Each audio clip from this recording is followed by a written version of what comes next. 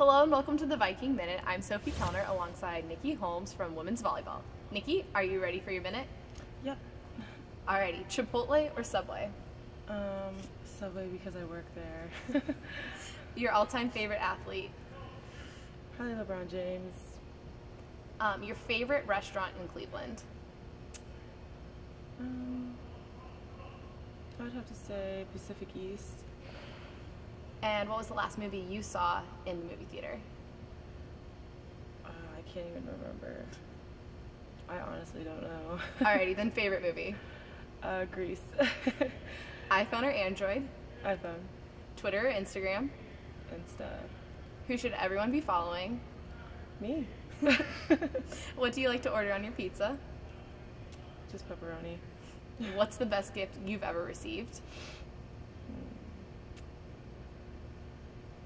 Money. If you could have dinner with anyone from history, who would it be? um, uh, I'm not sure. Probably an old president. Probably. All right, very cool. Thank you so much for joining me this week on the Viking Minute.